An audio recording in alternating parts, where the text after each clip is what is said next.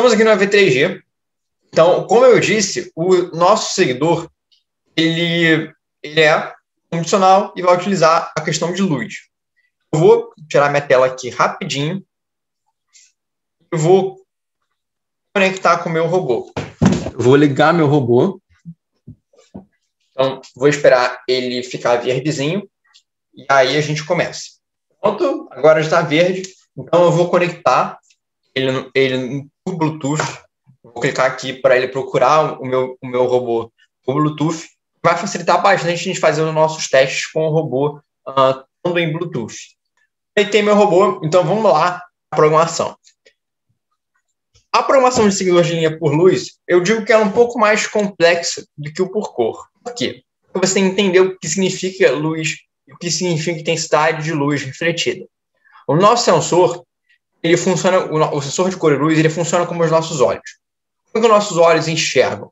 Eles emitem uma luz e o que reflete a gente enxerga e ajusta isso e interpreta isso para alguma coisa.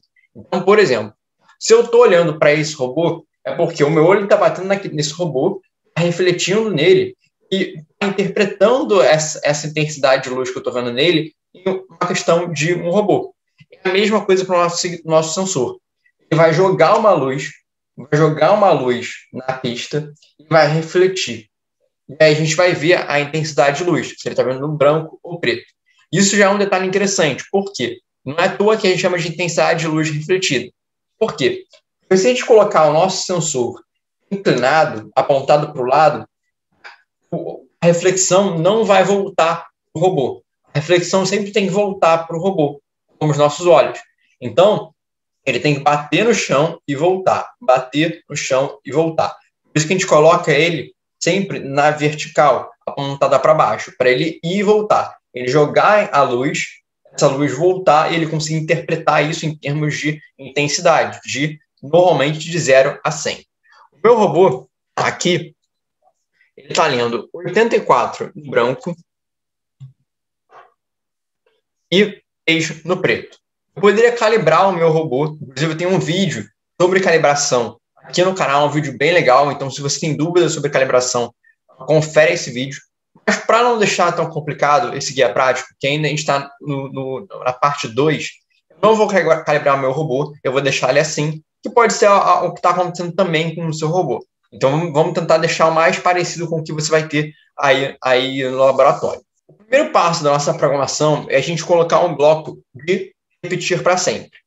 Por quê? Porque eu quero que a minha programação repita para sempre, eu quero que ele fique seguindo o tempo todo. O nosso segundo bloco é o que, que dá a segunda característica do nosso seguidor, o seguidor linha condicional. Então, eu vou colocar uma condição.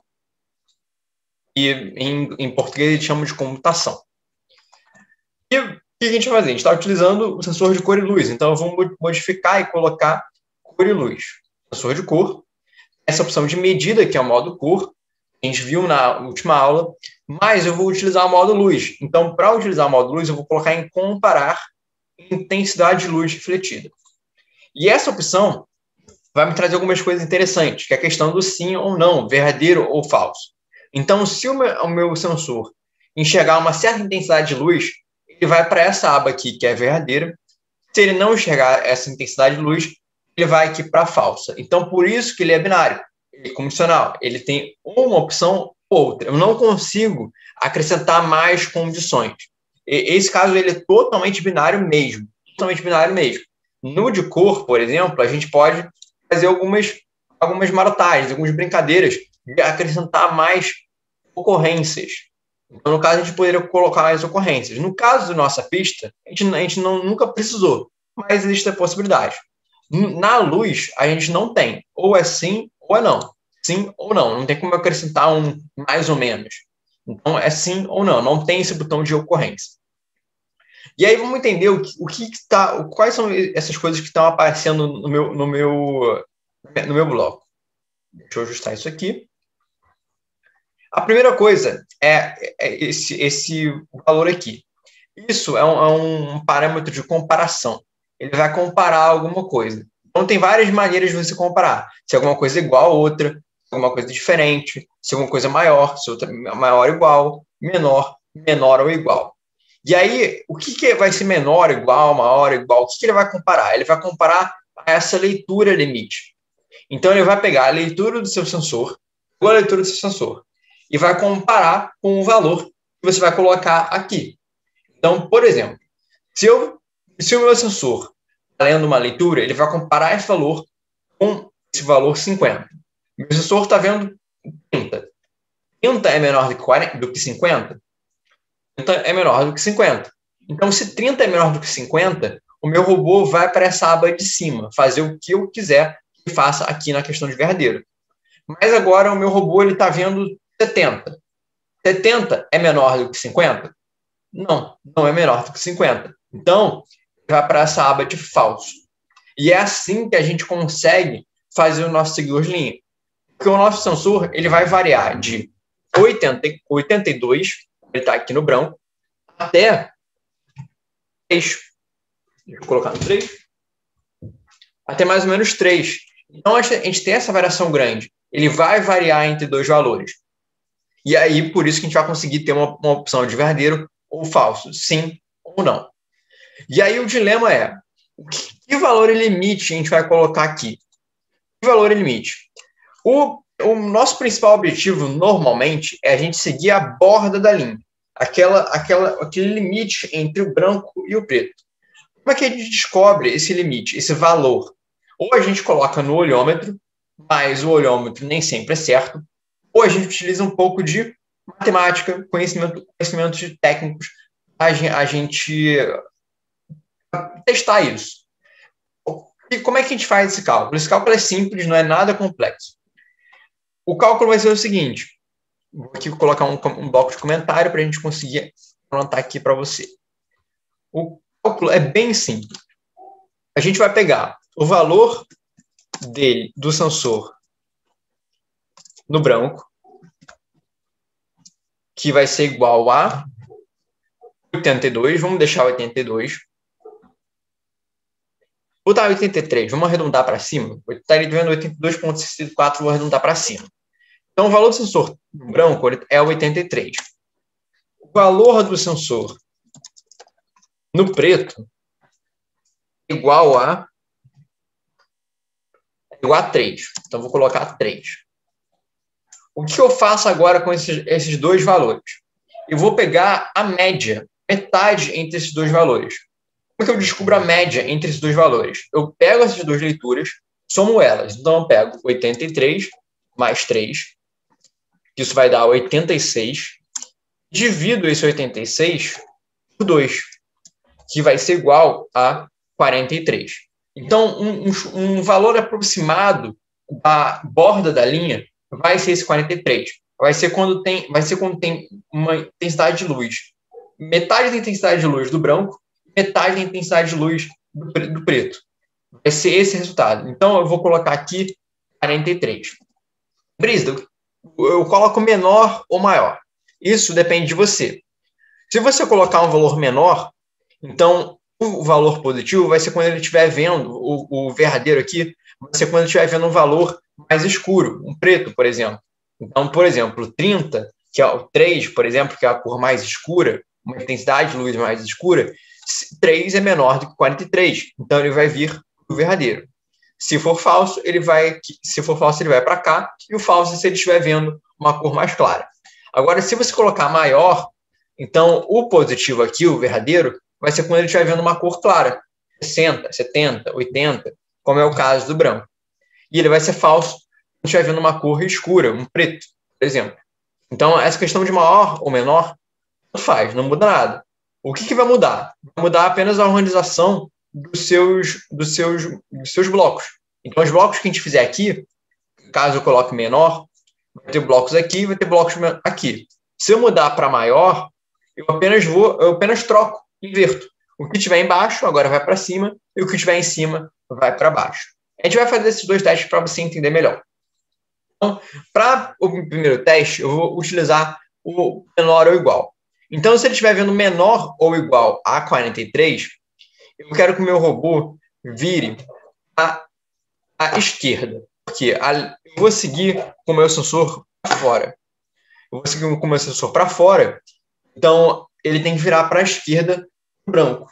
Ele virar para a direita, ele vai entrar na linha. E eu não quero, eu quero que ele, ele, ele siga para fora da minha linha. E para isso, o que, que, eu vou fazer? Eu vou utilizar dois blocos. Vou utilizar um, um dos meus motores, vai ficar parado, o outro vai ficar girando.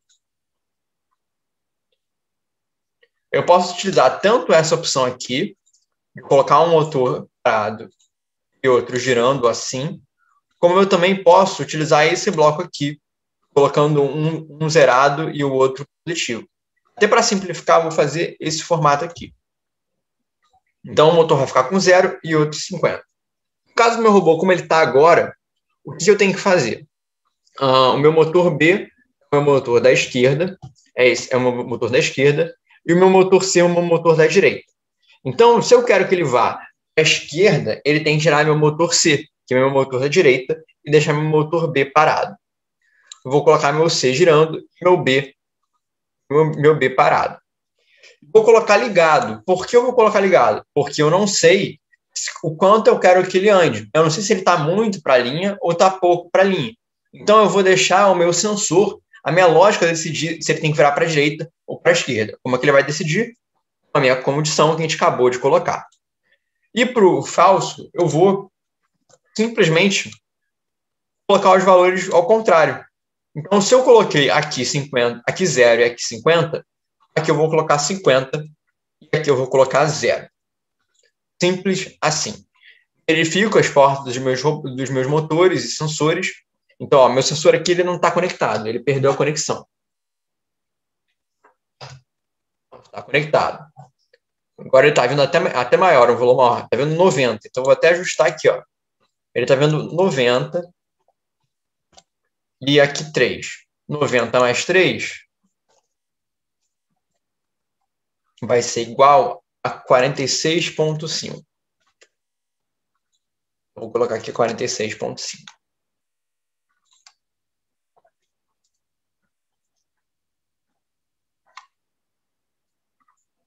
Quarenta e seis ponto cinco. Ele nem pega. Vou deixar 46. Ah, não, 46,5. Pronto. E vamos testar, vamos ver como é que o meu robô está seguindo.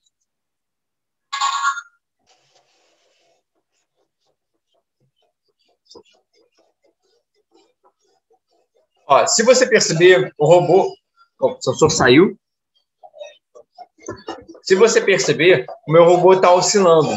Então, que nem o nosso robô de cor, ele também fica oscilando, ele também é muito brusco. Como é que a gente pode diminuir a, a, a, a questão dele ficar brusco? A única maneira. Na verdade, tem duas maneiras de a gente diminuir a, a questão dele ser brusco. A primeira maneira, que é, é mais simples, você diminui a força dos, dos motores.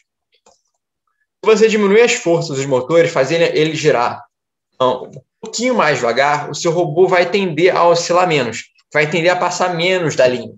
Porque por questão de inércia, o seu robô gira e ele demora um tempo para reagir, mudar o seu comportamento. Então é uma questão de inércia.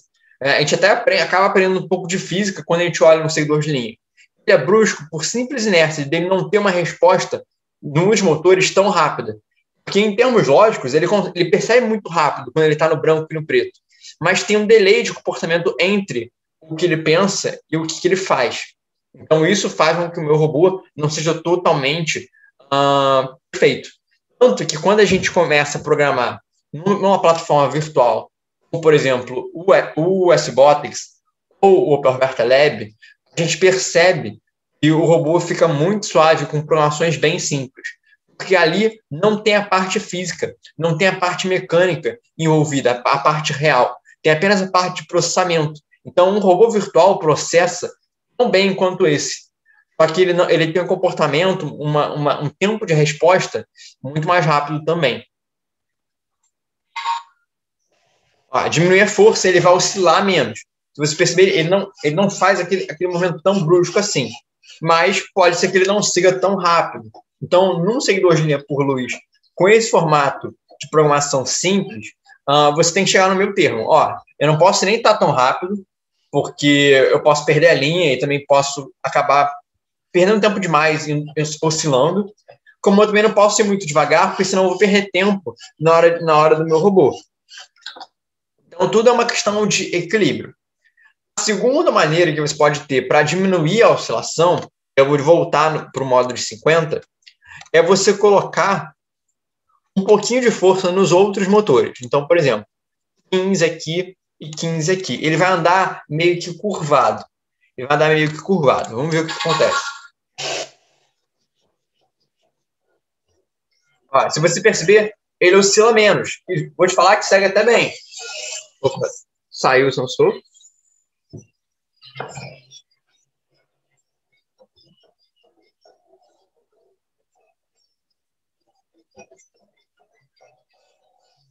Você apenas tem que tomar cuidado, por quê? Porque se aumentar demais, ele vai começar a fazer uma curva muito, muito aberta. Exemplo, vou colocar aqui 40. Aqui 40 e aqui 40. Vou colocar um robô aqui para você conseguir ver a curva. Ele vai fazer essa curva muito aberta. Ó, fez a curva muito aberta e se perdeu. Então, toma cuidado se você for optar por essa, essa maneira de colocar um pouquinho de força aqui. Então a gente viu com ele menor.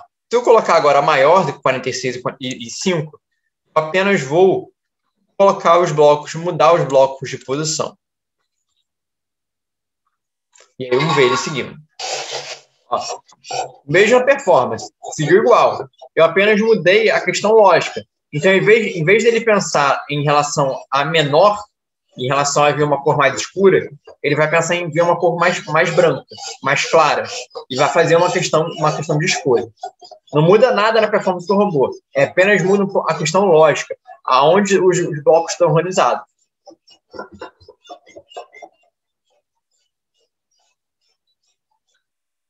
Então, essa aqui é a nossa programação do, no EV3G.